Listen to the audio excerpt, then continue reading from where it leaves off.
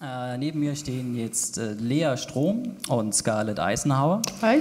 äh, von Ethics, dem Lab für Innovationsethik in Zürich. Und sie werden euch jetzt etwas über die digitale Demokratie erzählen. Viel Spaß. Genau, wir freuen uns sehr, seid ihr heute alle äh, gekommen zu unserem Vortrag. Es ist mehr ein, so ein kurzer Input eigentlich zum Thema Vertrauen. Es ist ein großes Wort, was immer wieder äh, erwähnt wird, wenn wir von Digitalisierung sprechen.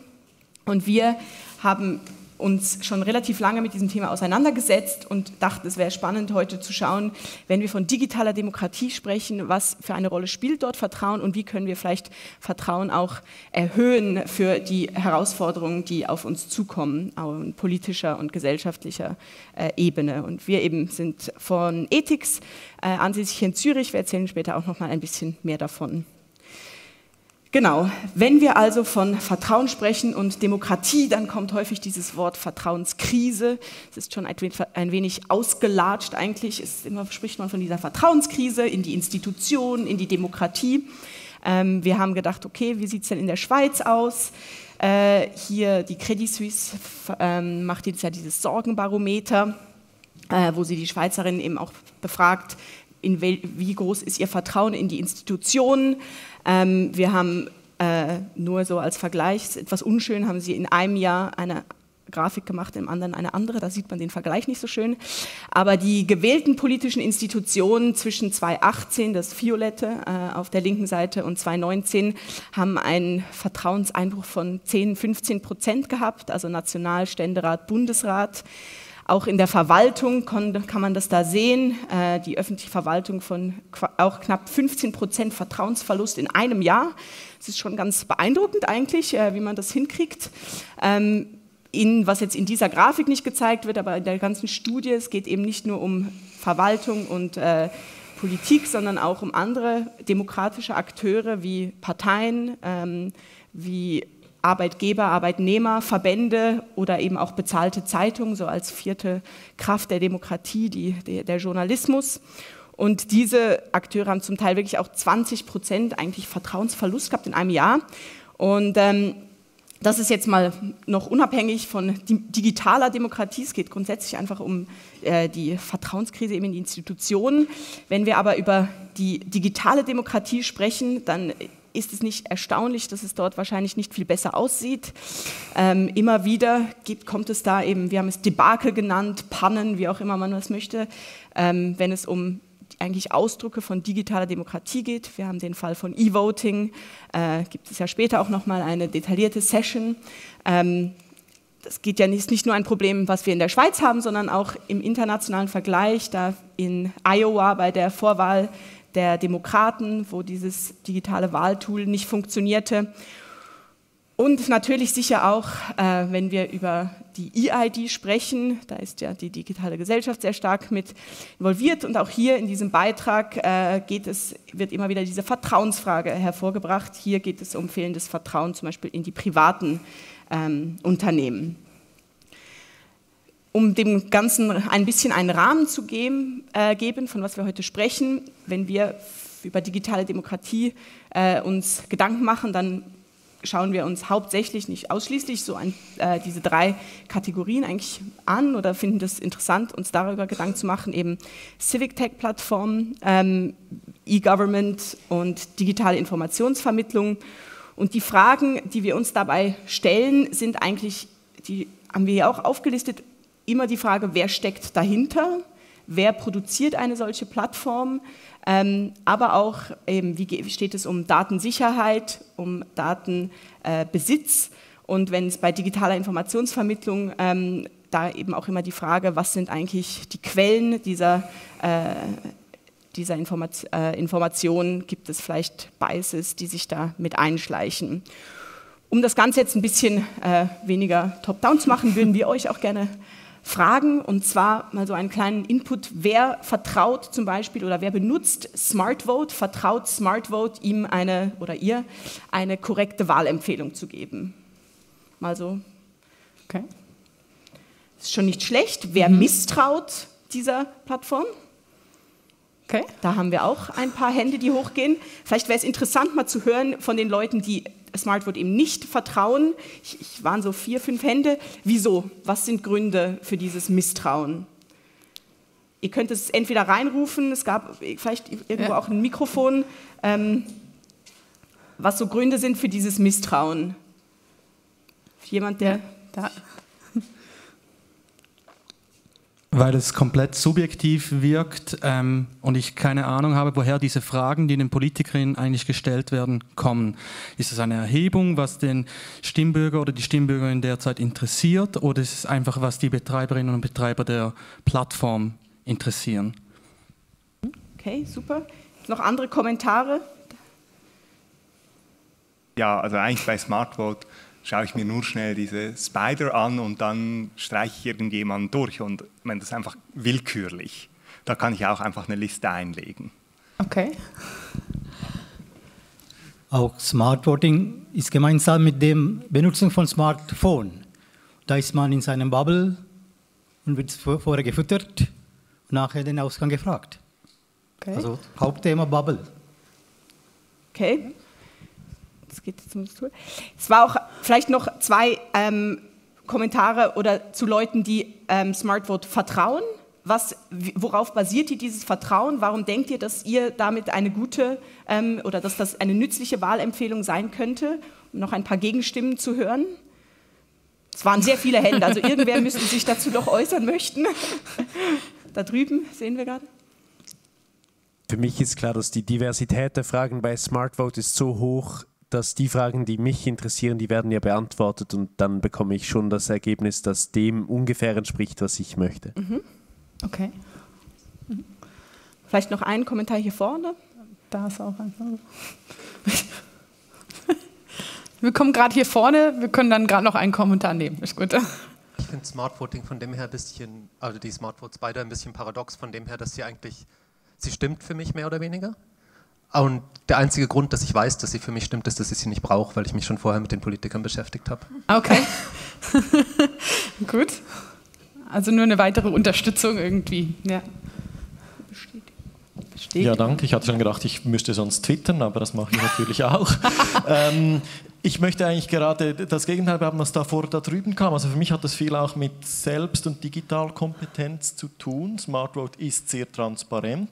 Vertrauen heißt für mich eben nicht blindes Vertrauen, sondern zu schauen, woher kommen die Fragen. Die kommen aus parlamentarischen Geschäften der letzten Legislaturperioden. Das heißt, es ist nicht einfach willkürlich für mich, sondern ich weiß, woher die Fragen kommen. Mhm. Ich weiß auch, welche Kandidaten wie sich selbst eingeschätzt haben. Übrigens kleine Anekdote am Rand ähm, die vielleicht für Misstrauen wirkt. Aber ähm, ein Bekannter von mir, der kandidiert für eine Partei, der ist mit sich selbst zu 80 Prozent übereinstimmend. Sehr gut. Da sind jetzt auch schon ein paar äh, Keywords gefallen, die wir gerne wieder auch aufnehmen wollen. Diese Idee von eben Transparenz. Äh, es ist transparent, wie das Tool aufgebaut ist. Das heißt, auf der einen Seite intransparent, scheinbar nicht gut genug kommuniziert. Das war der erste Kommentar. Irgendwie mhm. wissen nicht alle, die das Tool benutzen, wie es kommt, aber äh, man kann doch zu diesen Informationen kommen.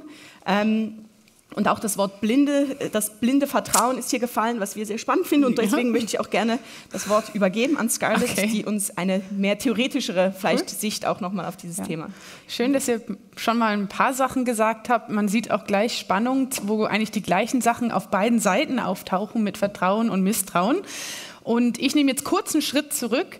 Äh, wir haben bei Ethics ein White Paper äh, vor kurzem veröffentlicht und einfach uns damit auseinandergesetzt, was ist eigentlich überhaupt Vertrauen und wie sieht das mit Vertrauen gegenüber Innovation und auch dem Digitalen aus. Und äh, also hier gerade nur mal so der Crashkurs Vertrauen. da kann man natürlich ewig lang weiter drüber lesen, wenn man Lust hat. Ähm, aber zuerst ist Vertrauen eigentlich ein zwischenmenschlicher Austausch. Es ist eine Beziehung, die wir mit Leuten haben, die um uns rum sind. Und diese Beziehung ist eigentlich auf, mit irgendwas in der Zukunft verbunden. Also wenn ich zum Beispiel Lea hier vertraue, äh, dann habe ich eigentlich eine Hoffnung, dass irgendwas Positives dabei rauskommt für mich oder für uns beide. Und äh, indem ich diese so ein bisschen eine Hoffnung dabei habe, äh, gibt es auch viel Risiko für mich oder auch, dass ich vielleicht verletzt werde im Endeffekt, weil vielleicht schafft sie es ja doch nicht so mitzuwirken, wie ich es gehofft habe oder geplant habe oder mir gedacht habe. Und indem äh, man diese Verlässlichkeit hat, dieses Risiko, ist es genau wichtig, was wir hier auch schon gehört haben, dass wir unser Vertrauen mit Sorgfalt schenken. Also eine Art gerechtfertiges Vertrauen geben und nicht nur zum Beispiel blind Vertrauen. Auf Englisch wurde das auch schon Intelligent Trust genannt. Also es hat irgendwas, ein bisschen was auch mit Denken zu tun. Und das kann sich dann in zwei Wegen abspielen. Also Person A kann Person B völlig vertrauen. Ich vertraue sie für alles. Oder ich vertraue, also Person A vertraut Person B, um X zu tun. Und ich glaube, das ist auch, was wir öfters sehen werden in diesem digitalen Kontext, äh, in dem innovativen Kontext, weil wir häufig die Leute, die da mitspielen oder auch die Institutionen, die da vielleicht dahinter sind, nicht so kennen, wie wir zum Beispiel Familienmitglieder kennen, äh, nahe Freunde, Partner in unserem Leben, wo wir wirklich dieses A vertraut B Punkt haben können. Dieses Vertrauen kann sich aber auch in einem größeren Kontext abspielen. Also es ist nicht immer nur eine Person zu einer anderen, sondern man kann dieses Vertrauen auch innerhalb einer Gemeinschaft und Gesellschaft empfinden. Das ist das sogenannte Generalized Trust. Ähm, und das spielt sich vielleicht ein bisschen mehr auf der Ebene aus, wenn wir in den Zug steigen, können wir darauf vertrauen, dass im Generellen die Leute sich auf eine gewisse Art benehmen werden und dass das alles gut läuft, wenn wir in den Zug steigen, weil wir mit unseren Mitmenschen eine Art Vertrauen teilen. Dann kommt die Frage, wo, wie bauen wir überhaupt dieses, dieses Vertrauen auf? Was, gehört, was sind da die verschiedenen Komponente, die Bausteine, die vielleicht da mitspielen? Wir haben uns so äh, das Bild von einem Bogen ausgesucht, dass man überlegt, wie diese Bausteine alle sich verknüpfen und zusammen den Bogen des Vertrauens aufbauen können.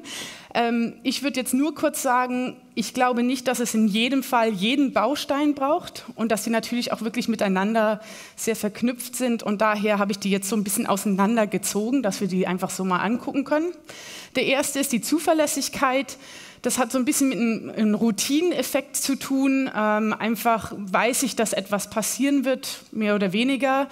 Damit habe ich aber keinen Sinn von, was ist der Plan da, steckt überhaupt was dahinter. Ich weiß nur, okay, normalerweise passiert X, also normalerweise. Dann kommt die Gewissheit, das ist eine Minimierung von dieser Unsicherheit, die man vielleicht hat. Ähm, obwohl ich würde sagen, wenn man 100% gewiss ist, dass etwas kommt, dann braucht man eigentlich Vertrauen nicht mehr so, weil das Risiko gar nicht existiert. Man weiß genau, was passieren wird. Aber dennoch äh, Gewissheit zu haben, zum bestimmten Grad, ist da schon hilfreich, wenn man über Vertrauen spricht. Das große Wort Transparenz spielt natürlich auch mit. Das sind die Informationen, die wir entgegennehmen können, bevor wir vielleicht mit Vertrauen dann uns einlassen. Ähm, hier würde ich auch sagen, Transparenz wichtig, aber nicht das Ende. Also es ist nicht das Einzige, das es braucht für Vertrauen. Wir können auch ein paar Versicherungen oder Gewissheiten von Drittparteien äh, uns abnehmen oder holen, ähm, indem sie im Prinzip sagen können, okay, ihr vertraut hier mal, ihr macht da mal mit und wenn es jetzt total scheitert, ne, also es ist schlecht gelaufen, dann kriegt ihr vielleicht doch noch das oder könnt dann das noch machen. Also es ist fast so ein, eine Art äh, Ausweg, falls unser Vertrauen schlecht ähm, sich abspielt. Äh, dieses Ethos des Vertrauens, das ist dieses Generalized Trust eher, ähm, so mehr wir uns fühlen, dass wir so im Generellen unseren Mitmenschen einfach vertrauen können, so mehr stabil das auch ist, desto eher können wir auch Mensch zu Mensch oder in neue äh, Beziehungen Vertrauen aufbauen. Also das gibt uns auch so eine Art Gewissheit für die Leute, die um uns rum sind. Das spielt natürlich auch mit den Gemeinsamkeiten mit. Und hier ist es nur, dass wir irgendwas suchen, das wir mit diesen Partnern teilen. Was ist es, dass wir gleich haben, worauf ich dann sagen kann, ah, okay, wir haben für dieses, diese Zukunftsszenario etwas Ähnliches. Ähm, sehr oft könnte man da sehr groß von Weltanschauungen sprechen oder auch eben die Werte. Und Werte für, sind, für uns sind wirklich dieser Schlüsselstein in der Mitte. Wer sich wegen der Architektur noch mit mir sprechen will danach, kann das ruhig machen. Aber der sitzt dann so richtig schön in dem Bogen drin und hält das wirklich alles fest zusammen. Und diese Werte geben uns einen Sinn davon, dass wir uns wirklich auf, auf einer Grundbasis über etwas geeinigt haben. Und dass das ein, ein mitspielendes Ziel ist, wenn wir über Vertrauen sprechen. Und deswegen, wenn die Werte vielleicht wegfallen, kann man trotzdem einen Bogen kriegen, der fällt vielleicht dann leichter zusammen, ähm, weil wir uns nicht wieder auf diese Grundebene richten können. So, das waren einfach generell ein bisschen zu vertrauen. Dann ist natürlich die Frage, was bedeutet das in der Demokratie? Und ähm, dieser Wertebasis, der mit äh, diesem Vertrauen zusammenspielt, gibt uns innerhalb einer Gesellschaft, ja, die in der Demokratie natürlich auch mitspielt, eine, St eine Stabilität auf die wir immer wieder zurückfallen können, weil diese Werte sich eigentlich nicht oft ändern und relativ über Zeit stabil bleiben. Dann können wir immer wieder zu denen zurückkommen und gibt uns eine Art Übereinstimmungen. Ein paar klassische, klassische Exemplare für Demokratie ähm, wären zum Beispiel, dass jede Stimme eigentlich gleich zählen sollte, dass die Mehrheit ein wichtiger Faktor ist, wenn man darüber spricht, was bei rauskommt zukünftig. Und die fundamentalen Werte, die ändern sich eigentlich nicht so viel und damit die Stabilität. Äh, Vertrauen erlaubt auch, dass wir eher kooperative Projekte angehen. Und das ist genau das, weil Vertrauen uns hilft, mit diesen Unsicherheiten, mit dem Risiko ein bisschen besser umzugehen. Ich gehe eher ein Risiko ein, wenn ich weiß, dass hier die Lea bei mir, mit mir steht, als wenn ich alleine stehe. Und wenn wir von der Demokratie reden, reden wir ja oft über Änderungen, die über Zeit stattfinden. Änderungen haben immer Risiko, Unsicherheiten mit sich, weil wir nicht 100 Prozent wissen, was kommt da jetzt eigentlich bei raus. Also man hat einzelne Projekte, aber Demokratie selber ist ja auch ein kooperatives Projekt, in das wir zusammen eingehen. Und um das zu machen, brauchen wir einen gewissen Level von Vertrauen mit den Leuten, an das wir, also wo wir da rangehen wollen. Und das ist dann eher auf dieser Ebene von Generalized Trust, dass wir die Zusammengehörigkeit ein bisschen aufbauen und dann wirklich als Gruppe zukunftsorientiert denken können. Das waren einfach ein paar Stichpunkte, warum Demokratie, Vertrauen zusammenhängen. Und jetzt kommt eben das Spannende, und das ist, wir haben schon heute Morgen wegen Misstrauen gehört, wir haben gerade schon ein paar Sachen gezeigt wegen Misstrauen. Und dann ist natürlich die Frage, fällt jetzt alles auseinander, wenn wir misstrauen, obwohl wir Vertrauen eigentlich brauchen für Demokratie? Ähm, und äh, die Antwort ist vielleicht gar nicht mal so. Ne? Misstrauen spielt ja vielleicht mit. Und hier ist schon mal ein kleiner Comic, der uns eine kleine Einleitung dazu gibt. Äh, zwei Kollegen an der Arbeit. Der erste fragt Wally, was ist der Unterschied zwischen Vertrauen und Dummheit? Und sein Kollege sagt, äh, halt mal den Gedanke, ich komme gleich zurück. Und kommt natürlich nicht zurück. Also für den einen Kollegen ist die Zukunft etwas zerstört worden. Er hat seine Zeit vergeudet. Ne? Er hat nicht gut vertraut in dem Fall. Die Aussage ist ja eigentlich, dass ähm, ja, dieses blinde Vertrauen vielleicht eher auf Dummheit grenzt, sage ich jetzt mal ganz vorsichtig. Ne? Ähm, und das hatten wir auch schon gehört, das reflektiert das auch im Englischen, dass man schon von mal Intelligent Trust gesprochen hat. Man muss eigentlich ein bisschen mitdenken, um gutes Vertrauen auch zu schenken. Wenn wir es also ganz simpel angucken, erlaubt Misstrauen uns, Sachen ein bisschen auszudenken, diese Bausteine ein bisschen besser durchzugehen und dann zu überlegen, wo ist eigentlich etwas, das vertrauenswürdig ist und dem schenke ich dann mein Vertrauen. Man kommt zu Vertrauen an, irgendwas ändert sich mal immer wieder oder vielleicht ändert sich die Person ein bisschen und dann müssen wir wieder sagen, ah okay, ich evaluiere nochmal. Und es gibt so einen kleinen Zyklus, also dass man immer wieder ein bisschen misstraut, dann kommt das Vertrauen und dann wieder zurück. Wenn wir das für die Demokratie nochmal anschauen, haben wir zum Beispiel, ich fange mal hier oben links an, bei einer Änderung, es gibt eine Änderung und dann kommt ein konkreter Ausdruck der Demokratie. Also vielleicht die, die genaue Person, die als Beamtin gewählt worden ist, eine genaue Regli Regulierung, die genauen Tools, die wir gerade an, angeboten bekommen, um in der Demokratie mitzumachen. Und äh, da das ja dieser Ausdruck mal gekommen ist, das war auch eine Änderung, dann gehe ich weiter und gucke mir nochmal ähm, äh, an, soll ich jetzt wirklich dem gegenüber vertrauen? Und das nennen sie auch Vigilance, so, so genannt. Ähm, und dann misstrauen wir erstmal wieder als Bürger und gehen dann wieder auf eine Änderung ein. Dieses Misstrauen kann dann wieder motivieren, eine Änderung anzufangen. Und deswegen ist es in der Demokratie auch wichtig. Ich habe hier gerade noch ein kurzes Zitat von Michler und Rose, wo die das ein bisschen zusammenfügen. Ähm, und sie sagen, Demokratie erfordert Vertrauen, setzt aber auch eine aktive und wachsame, also vigilant Bürgerschaft mit einer gesunden Skepsis gegenüber der Regierung voraus. Demokratie braucht auch Leute, die misstrauen sozusagen.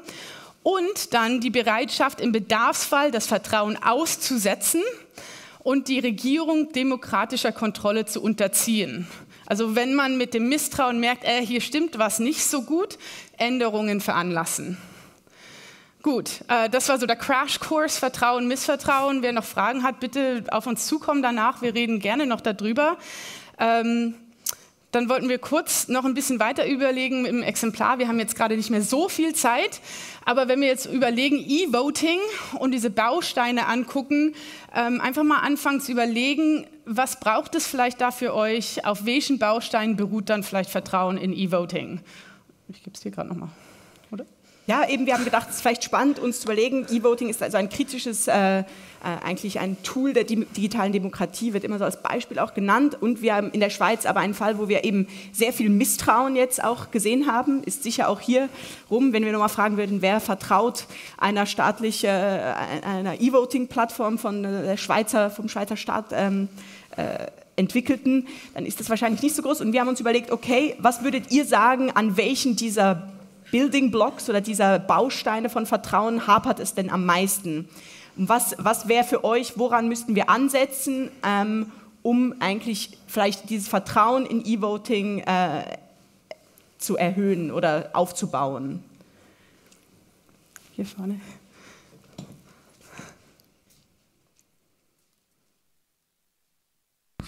Roger Fischer von Datamap. Äh, ähm, ich denke, äh, oder ich, ich denke, dass die äh, hier beim E-Voting ganz klar äh, die Transparenz das größte Problem okay. ist. Das hat die Sarah Lewis, ich weiß nicht mehr genau den, den dritten Namen, aber die hat ja dieses E-Voting eigentlich, äh, also hat gemerkt, da stimmt ziemlich viel nicht. Und ich denke, sie hat sehr klar gesagt, es muss ähm, einfach transparent sein und es ist auch ein langer Weg. Das ist etwas super Schwieriges und es braucht die Ressourcen. Man kann das nicht so schnell über eine Privatfirma einfach machen. Und was, welche Art von Transparenz äh, ist da wichtig? Geht es darum, die technischen äh, Spezifikationen eines solchen Systems transparent zu machen? Geht es darum, transparenter zu kommunizieren, ähm, äh, was zum Beispiel mit den Daten passieren, äh, passiert? Die, also was, Transparenz ist ein sehr breites Wort. Ne? Wir wollen alle mehr Transparenz. Aber was, um welche Aspekte denkst du, äh, sind da vor allem also wichtig? Ich, eben, ich beziehe mich eigentlich nur auf Sie da, weil ich, glaube ich, wirklich die, die große Spezialistin vor allem für, die, für den Schweizer Fall ist. Und sie sagt einfach äh, natürlich technische Transparenz. Mhm. Also man muss ein solches System äh, einfach transparent bauen von Anfang an, dass man alles versteht und dass alle also dass alle Zugriff haben und dass eben auch mehrere Experten das anschauen können und sagen, da haben wir ein Problem. Ich glaube, also in diesem Fall ist wirklich geht es um, um, um Technologie, äh, das wirklich zu verstehen als ersten Building Block. Also sehr interessant hier auch, dass der Prozess transparent sein muss in dem Moment, wo es kreiert wird, anstatt nur am Ende zum Beispiel einen Code veröffentlichen oder so. Gut, noch ein, hier vorne noch? Ja. Hallo, Tim Reutemann. Ähm, ich denke, für mich ist der kritischste Punkt eigentlich gar nicht auf dem Slide drauf, sondern kam auf einem früheren okay. von euch, nämlich das Vertrauen, um was zu tun. Okay, gut. Und wenn es gerade darum geht, Schweizer Volksinitiative im Prinzip höchste Gesetzesstufe zu verändern, brauche ich extrem viel Vertrauen in das System mhm. und werde das wahrscheinlich auch nie haben für ein E-Voting-System, egal welches. Es muss 100% okay. Papier bleiben für mich. Ähm, gleichzeitig, im Moment haben wir das Vertrauen, ich, ich, bin selber in der öffentlichen Verwaltung und die Chefin von der Chefin von der Chefin von meinem Chef wurde gewählt. Ja. Und trotzdem treffe ich Entscheidungen oder Leute auf meinem Niveau allgemein in der Verwaltung treffen sehr wichtige Entscheidungen, mhm. die wir durchaus, wo wir durchaus öfter darüber abstimmen könnten. Nur sind das so viele, dass so viele kleine Entscheidungen, dass niemand, es ist technisch im Moment nicht möglich. Mit E-Voting wäre es möglich. Okay. Also kleine Budgets, kleine Entscheidungen könnten als Case Study, als mal probieren und wenn es dann schief geht, geht es schief und ist nicht viel verloren. Okay, das Risiko ein bisschen minimieren in dem Moment, dass wir es erstmal wo auf einer anderen Ebene ausprobieren und auch dieses X wirklich feststellen. Für was vertraue ich jetzt diese Technologie? Das ist vielleicht auch eine transparente Sache. Wie können wir das aufklären? Hier hinten noch. Äh, ja.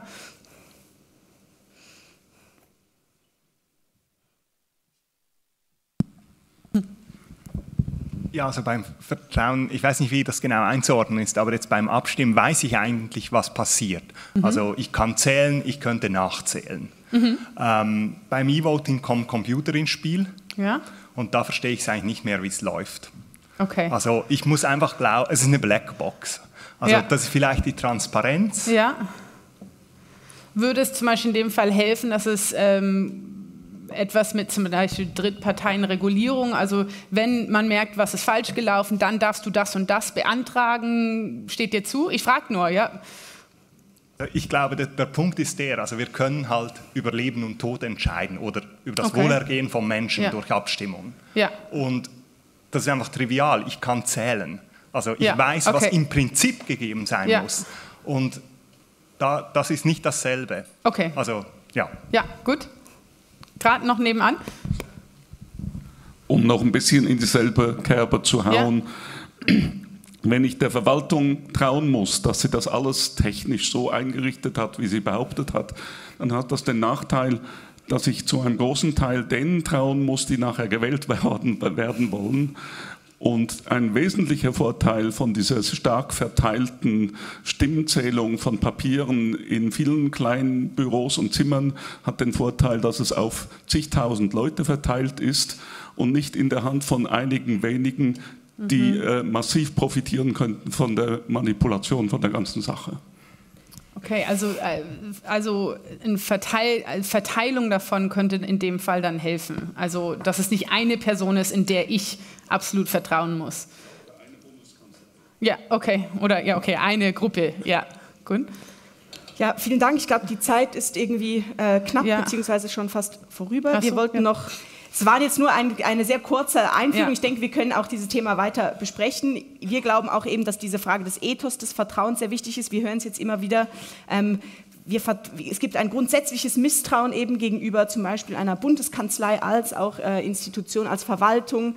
Ähm, und diese eben eigentlich dieses Ethos des Vertrauens auch hier dass da, dort eigentlich der, die Krux im Moment liegt, dass man das wieder aufbauen muss. Vielleicht auch eben die, um nochmal so zu, den Link zu heute Morgen machen, ähm, äh, diese Idee, dass eigentlich die Schweiz, der Schweizer Staat, die Schweizer Bundeskanzlei, und dabei geht es ja, äh, oder die Schweizer Verwaltung, dass die auch als kompetent vielleicht wahrgenommen werden in, einer, ähm, in der digitalen Welt und dass dort das Vertrauen wieder äh, aufgebaut werden muss.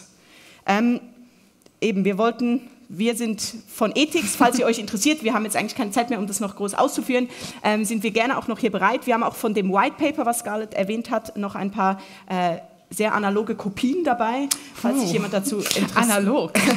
äh, falls sich jemand dafür interessiert. Cool. Ähm, ja, und danken euch herzlich für eure Aufmerksamkeit und eure Participation. Ja, schöne Zeit noch. Ja.